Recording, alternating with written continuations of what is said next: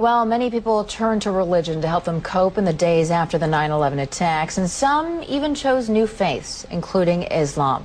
That may be no surprise, since a quarter of the estimated 6 million Muslims in the United States are converts. Delia Gallagher looks at two people who chose that path. أشهد وأشهد أن أن محمد محمد Allison Poole says this phrase three times in Arabic أشهد and then in English. there is no God but God, but God, and I bear witness and I bear witness that Muhammad that Muhammad is the messenger of God. is the messenger of God. And her conversion ceremony is complete. She's now a Muslim. Moments later, she'll marry Sammy and become Allison El Gamal.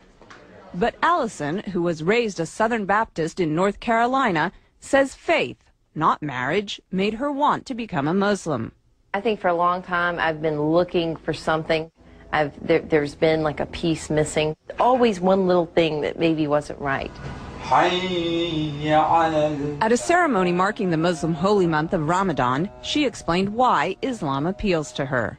I think because it's much more about peace. I'm praying five times a day. It's kind of hard to go out and say bad things or do bad things when you're praying five times a day. And you have to believe The imam who married Allison says he's seen more American converts recently, in part because of the prominence of Islam in the news. It may sound paradoxical, but what happens is that when something becomes more in the news, people tend to want to know about it. Allison says she was already on a spiritual quest when she began to hear a lot about Islam post 9 11.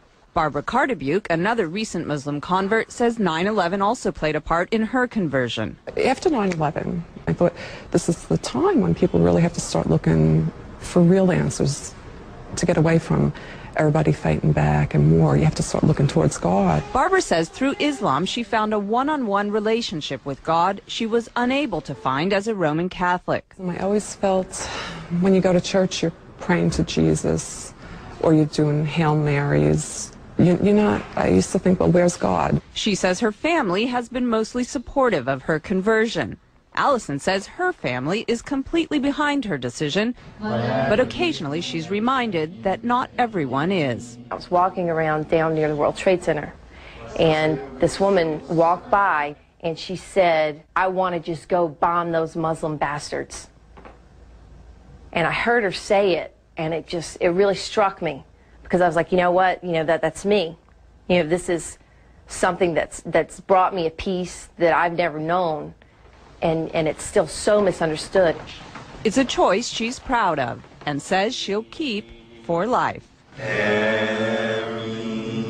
Delia Gallagher, CNN.